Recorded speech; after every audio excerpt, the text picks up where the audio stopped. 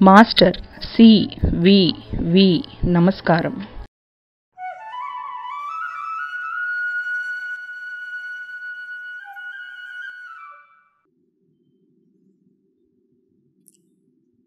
Master C వి వి నమస్కారం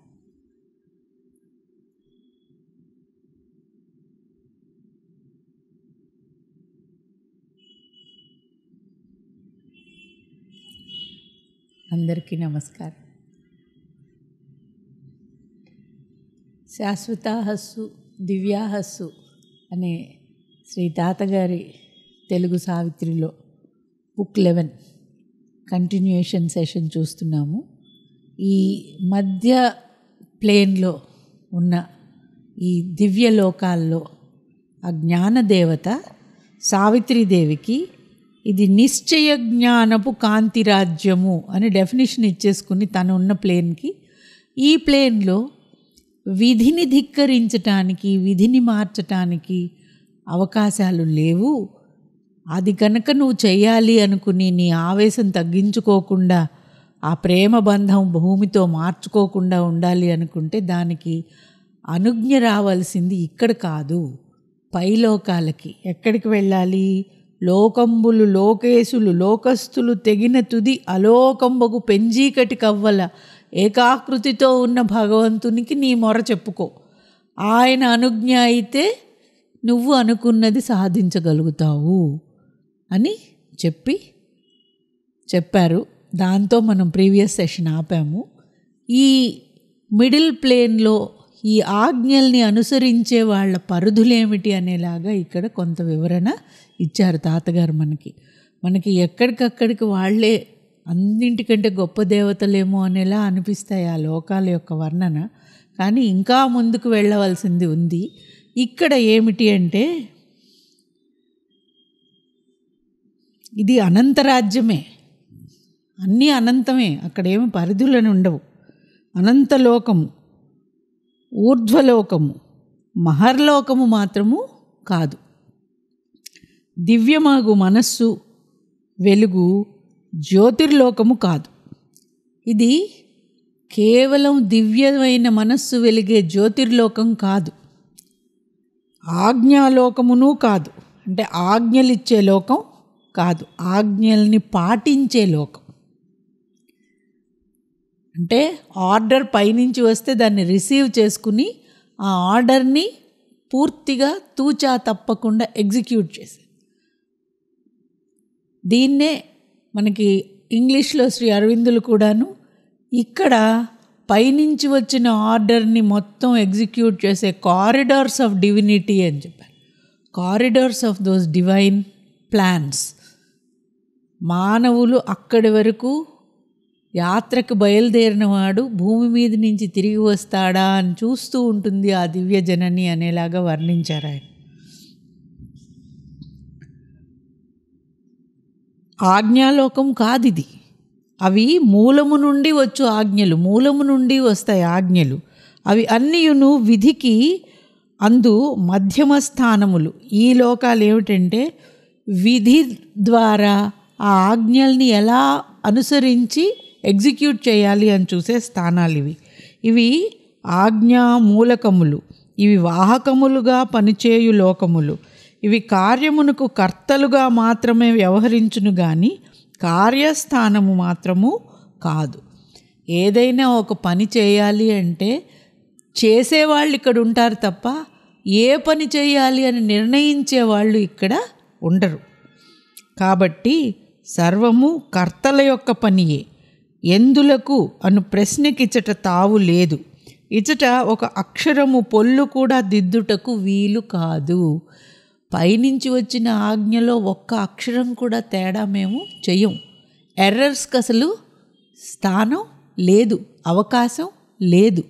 Complete surrender to the divine order complete execution as it is in toto ఉన్నది ఉన్నట్టుగా తప్ప సొంత ఆలోచనలతోటి ఇదిలా ఎందుకు అని ఆలోచించటం ఈ ప్లేన్లో లేదు మార్పులు అనేవి ఉండవు. అందులో ఉన్నది ఉన్నట్లుగా అమలు జరుపుటయే. రవంతయు దిద్దుటకు వీలు కాదు. దీని అర్థమేమి? పరమార్థమేమి? అను ప్రశ్న లేదు. ఆజ్ఞ ఆజ్ఞయే. ఆ భగవంతుని యొక్క సంకల్పమే వీరికి ఆజ్ఞ. ఆ ఆజ్ఞ ఆజ్ఞ. ఇది సజీవులకు సంబంధించినదా? నిర్జీవులకు సంబంధించినదా? అని అడిగే పని కూడా లేదు. ఒక్క అడుగు ఇటు అటు జరుగుటకు వీలు కాదు. నీవు అక్కడి ఆజ్ఞను మార్చుటకు. ఆజ్ఞలోకములందు వీలుండదు తల్లి. ఈ భూమి మీద నువ్వు తేవాలనుకున్న మార్పులకి ఏ ఆజ్ఞల ప్రకారం అయితే మేమందరం వర్తిస్తున్నామో వాటిల్లో మార్పులు నువ్వు ఇక్కడ ఈ ప్లేన్లో తేలేవు తల్లి. నీవు క్రిందికి చూడుము.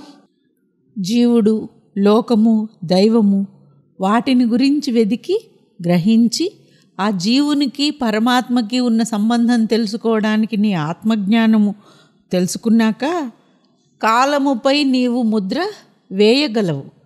కాలమును నీ సంకల్పములోనికి త్రిప్పుకొనగలవు. కాబట్టి అటు చూడుము. Choose destiny's curve and stamp thy will on time. అప్పుడు విధిని నీ వీలును అనుసరించి గ్రహింపవచ్చును. కాలమును నీ ఇష్టానుసారము మలచవచ్చును. నీవు ఎక్కడికి వెళ్ళాలి అనేది చెప్పింది సావిత్రీదేవికి ఆ జ్యోతి. అక్కడికి వెళ్ళటానికి తనకి సామర్థ్యం ఏమిటి అని. సావిత్రీదేవికి ఆ సామర్థ్యం ఇప్పటికే ఉంది. కనుక ఇక్కడ కాదమ్మా ముందుకు వెళ్ళు. ముందుకు వెళ్ళినప్పుడు నీవు కాలాన్ని మార్చి విధిని మార్చి శ్రీకృష్ణుడు గనక కాళిందిలో నర్తనం చేసినట్లుగా కాలము తల మీద నువ్వు నర్తన చేయగలవు విధిని మార్చగలవు ముందుకు నడు అని చెప్పింది. ఆ మాటలతో ఆమెకు ఒక తెరిపి ఏర్పడినది. ఈ మాటలు అయిన తర్వాత ఇంకా అక్కడ మాటలు వినపడటం మానేశాయి. సావిత్రీదేవికి ఇంకా ముందుకు వెళ్ళేలాంటి అవకాశం ఇంకా ముందుకి. ఆ ఏకాకృతిలో ఉన్న పరబ్రహ్మం దగ్గరికి ఆకారములు రూపములు తొలగిపోయినవి. దృష్టియు దృశ్యము పనిచేయుట ఆగిపోయినవి. అక్కడ ఇంక వేరు అనేది లేదు. చూసేవాడు చూడబడేది అనేవి లేవు. భావము దృష్టి రహితములయ్యను. ఆలోచనలు లేవు. చూడడానికి ఒక వస్తువు దీన్ని చూడాలి అనేలాంటి ఉద్దేశాలు కూడా లేవు. ఒక్క తేజస్సు మాత్రమే నిలిచియుండును. అందు లోకము లేదు ఆకారము భావము లేవు. అందు ఏదో ఒక కదలిక. అది క్షణికము కాదు ఆరంభము లేదు. ఆ కదలిక ఎప్పుడు పుట్టింది ఎక్కడి నుంచి అనేది లేదు. ఆ కదలిక ఒక క్షణం ఉండి ఆగిపోయింది అనేలాగా కూడా లేదు ఒక కదలిక. ఆ కదలిక వలన తెర తొలగినట్లు తెరపి ఇచ్చినట్లు అయ్యను. అతట కాలము లేదు శబ్దము లేదు. మీరు ఏదనుకున్నా అది లేదు. మనకి భూమి మీద ఎన్ని పరిమితులతో ఎన్ని పర్ముటేషన్స్ కాంబినేషన్స్ తోటి రకరకాల పరిస్థితులు ఉంటాయో ఏదీ లేనితనం ఊహించుకోవటం మన ఊహకు కూడా అందదు. ఎందుకంటే మనకి ఏదో ఒక ఊహ ఆధారంగా ఒక ఆకారాన్ని కల్పించుకోవటమే అలవాటు తప్ప ఏమీ లేని శూన్యత్వాన్ని ఊహించుకోవటానికి కూడా మనకి చేత కావాలి.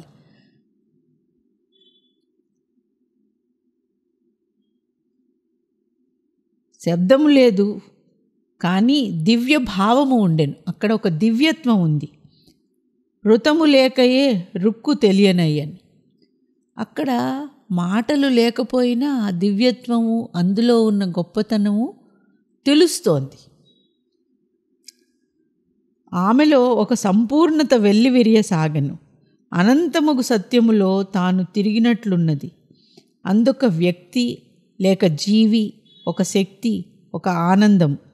ఈ మూడును మిళితమై ఒక సంపూర్ణతను సంతరించుకొని ఇక్కడ వేరుతనం అనేది లేదు. సంపూర్ణత అనేది ఆవిడకి అనుభూతిలోకి వచ్చింది. ఆ సంపూర్ణత ఎలా ఉందంటే అనేకత్వము యొక్క ఏకరూపం అది. ఏమీ లేని తనంలో నుంచి సృష్టి జరగాలి అని ఆ విరాట్ పురుషుణ్ణి వర్ణించారు ఇంతకుముందు ఆ విరాట్లో అన్ని రూపాలు ఉన్నాయని. ఆ విరాట్ కంటే పైన ఏమీ లేని ఆ ప్రదేశం అక్కడుండే అనుభూతి ఇక్కడ మనకి వర్ణిస్తున్నారు. అనేకత్వము యొక్క ఏకరూపం దైవత్వము యొక్క ద్వైతము యొక్క అద్వైతం. ఈ సృష్టి అన్నారంటే మొత్తం ద్వైతం. ఈ ద్వైతం వెనకాతలున్న అద్వైతం అక్కడ. వేరు అనేది ఇంకొకటి లేదు.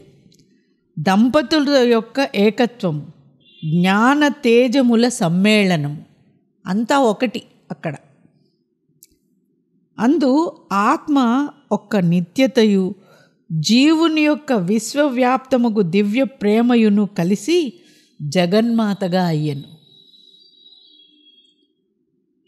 అక్కడ ఆ శక్తి ఆ జగన్మాత దృష్టి దివ్యము భావము దివ్యము తేజోమయము. ఆమెయే ఈ సృష్టి మూలముగా గోచరించును. అచ్చట నిశ్శబ్దము దీని అంతటినీ ఆమె అందు సమర్పించుచుండెను. ఆమె అదృశ్యమూర్తియే కానీ కనిపించుచున్నది. అశ్వపతి తన యాత్రలో అక్కడికి వెళ్ళినప్పుడు కూడా ఆ మాత పూర్తిగా కనపడదన్నా చిరునవ్వుతో ఆ వెలుగులో ఒక చిన్న తెర పక్కకి తొలగినట్టుగా అయ్యి ఆ మాత కనిపించినట్టుగా అనిపించింది అంటాడు మాత దర్శనము వరప్రసాదం దగ్గర. అది ఒక ముత్యం. దాని చుట్టూను ఒక తేజోమండలం. అంతయు తేజోమయమై ఏమియూ కనిపించని రీతిగా ఉండేనంటే కళ్ళు మిరుమిట్లు గొలిపేటంత తేజస్సుతో ఉండి వేరే ఏమి కనపడనంత కాంతి ఆనందము జ్ఞానము దివ్యత అన్నీ అక్కడ ఉన్నాయి. చెవులు వినజాలని దివ్యవాక్యములు ఇట్లున్నవి. చెవులు వినజాలనివి అంటే మన బాహ్య చెవులకి అవి ఎప్పుడూ వినపడవు.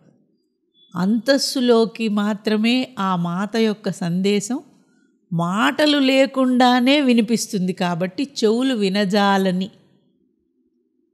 ఆ మాటలు సావిత్రీదేవికి ఆ జగన్మాత దగ్గర నుంచి వినిపించాయి. ఏమని? అమ్మా ఒక నిర్ణయమునకు రమ్ము. ఇంకా ఇక్కడ final choice choice of the soul అని చెప్పారు అందుకనే శ్రీ అరవిందులు. నిర్ణయం తీసుకో ఏది కావాలి అనేది. ఇంకా దీని తర్వాత మళ్ళీ నువ్వు చాయిస్లు వెనక్కి మార్చుకోవటం ఇప్పటి వరకు నీకు ఎన్నో చాయిస్లు ఇస్తుంటే నువ్వు కాదు ఇది వద్దు అన్నావు. ఇంకా నువ్వు ఇక్కడ వద్దు అన్నావు అంటే వద్దే. మళ్ళీ నీకు ఇంకొకసారి ఆపర్చునిటీ రాదు. నిర్ణయం తీసుకో. ఇచ్చట అంతయు శాంతము. దానికి పేరు లేదు. ఇక్కడున్న శాంతికి పేరు వేరుగా నువ్వు చెప్పలేవు. రూపము లేదు. అంతయు సుఖము.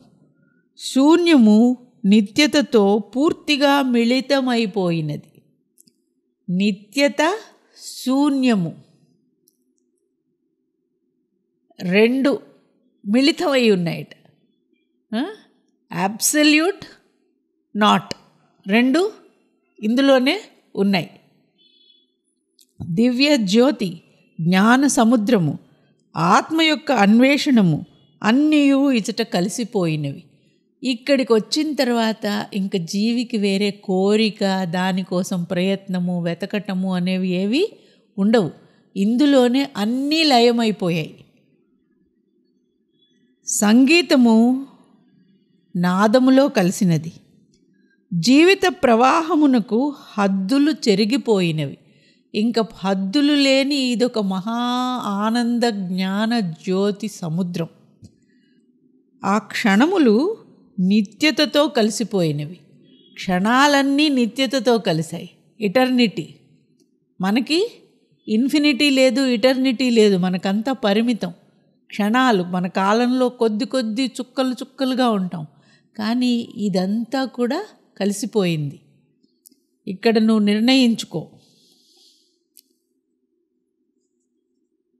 ఈ ప్లేస్కి వచ్చావు ఇక్కడ ఉండిపో. ఉండిపోతావా? అప్పుడు సావిత్రీదేవి హృదయం. ఎందుకంటే ఆ మాటలు చెవులకు వినిపించేవి కాబట్టి ఈవిడ సమాధానం కూడా హృదయ స్పందన నుంచే నోటి నుంచి కాదు. ఆమె హృదయం ఇట్లు స్పందించినది. జీవాత్మను భవరోగము నుండి ఉద్ధరించునట్టి శాంతిని దయచేయవలయును. ఆనందమిచ్చు శాంతిని వసంగుము. నిర్ణయించుకో నువ్వు ఇక్కడ అని ఏం చెప్పారు? ఇక్కడ అంతా శాంతి అని చెప్పారు కదా.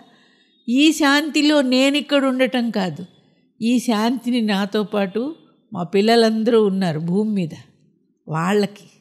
తల్లి చూడండి ఆవిడకి ఎవరన్నా విందుకు వెళ్తే లడ్డు ఇచ్చారనుకోండి లడ్డు తిందు ఇంటికి తీసుకొస్తుంది పిల్లలకు పెట్టడానికి. అలాగే సావిత్రిదేవి చూసారా ఏం చేస్తుందో?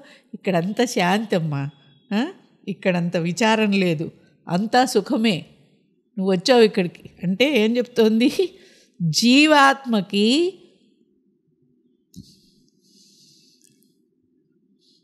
జీవాత్మకి భవరోగం నుండి ఉద్ధరించేలాంటి శాంతినివ్వండి. భూమి మీద ఉన్న కష్టాల నుంచి వాళ్ళకి విముక్తిని ఇవ్వండి. ఆ శాంతి ఇవ్వండి. ఆనందం ఇచ్చే శాంతిని వాళ్ళకి దుఃఖాలు తొలగించండి. ఏం కావాలి అంటే నాకేం కావాలి?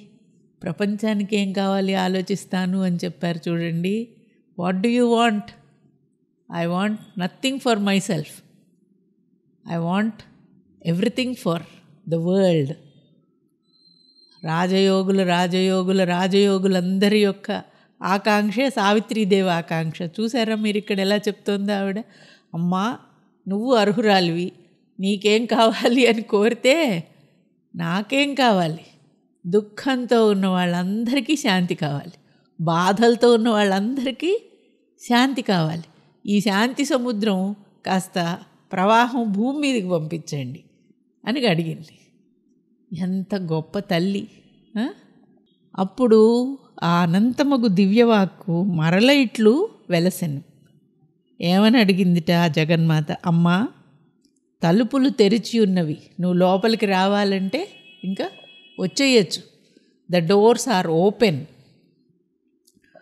భూమికి సంబంధించిన బంధములన్నీ తొలగించుచున్నాం నీకు ఇంకా భూమి మీద వాళ్ళ కష్టాలు భూమితో సంబంధం అనేలాంటి బంధాలన్నీ తీసేస్తున్నావు.